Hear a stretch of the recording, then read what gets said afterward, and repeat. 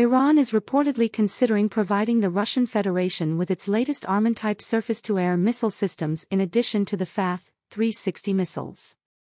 Photos have appeared on social media, citing Iranian sources, showing the delivery of FATH 360 tactical missile systems, also designated BM-120, and Arman, also known as Ababil, surface-to-air missile systems to the Iranian port of Bandar-e Anzali on the Caspian Sea.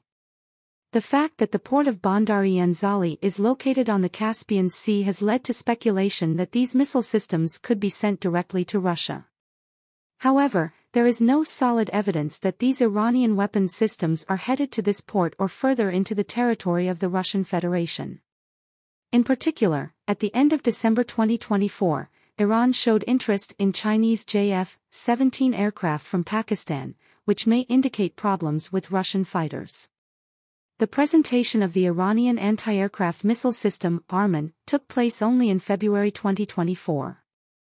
There are few photos of the complex in the public domain, but the Iranian side claims that this complex is capable of hitting air targets at a distance of up to 120 kilometers and at an altitude of up to 27 kilometers.